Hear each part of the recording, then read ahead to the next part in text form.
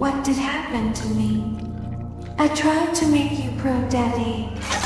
Now I am broken. I am damaged. I'm dead. But I will keep making you proud, Daddy. We will make you proud. This is why I was created for.